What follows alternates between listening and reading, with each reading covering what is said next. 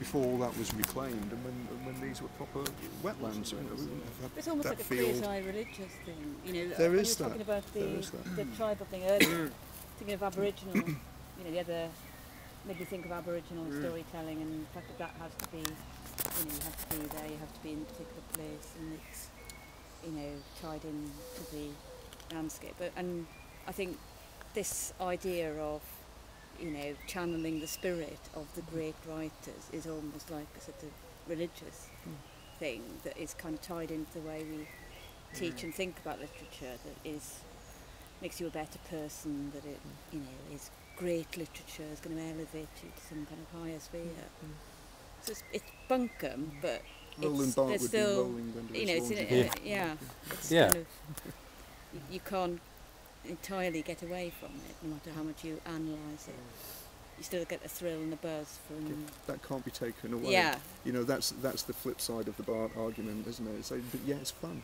Yeah. And people will keep coming Keep back doing for it, that. yeah. That's the thing about ritual and tradition, isn't it? Mm. That it's actually it's Mm. binding. Mm. It helps bind communities together in ways that are non-rational.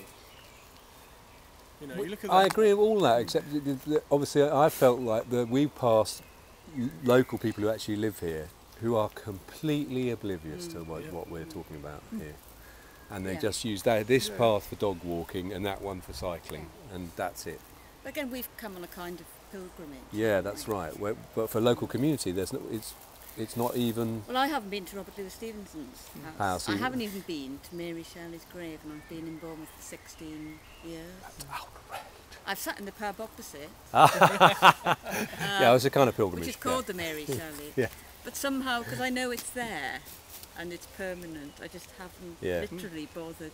Mm. And I, I mean, I'm, you know, I'd be very interested if it was anywhere else. It'd be the first place I'd go to. Yeah, yeah. It's in the town Because you're uh, around, where. I live. So that's an issue in itself, Yeah. isn't it? About suppose- sorry. No, no, that's that's the point, isn't it? Is that Yeah. because if you're local, you don't commune with it in quite the way we've talked about. Well, I think generally people don't.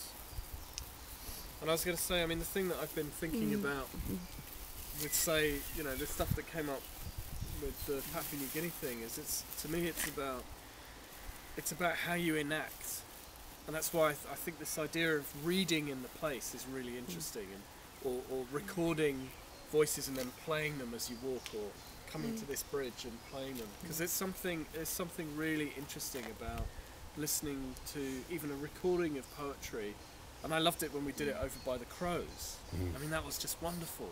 It's mm. like, this is sort of, that's a poetry of its own, and the two are sort of, you know, they're in syncopation to a degree. Yeah. And there's something really lovely. And I think what makes this a magical day is it's this constant, we're remaking Hardy Yeah. Yeah. for It's not the ourselves. similarities. It's And it's not something you do every day.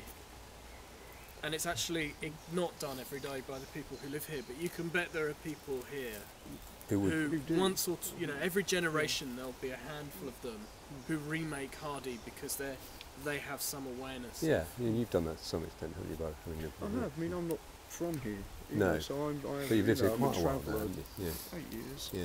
That's But not is even that toes on- under the table down here.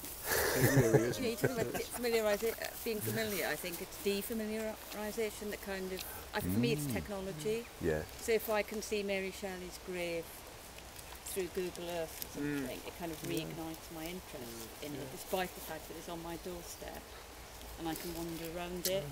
That's So I think that adds a layer of another lens, magic. I've, Um, I've been wanting to draw a diagram that's, that I draw for my first year students sometimes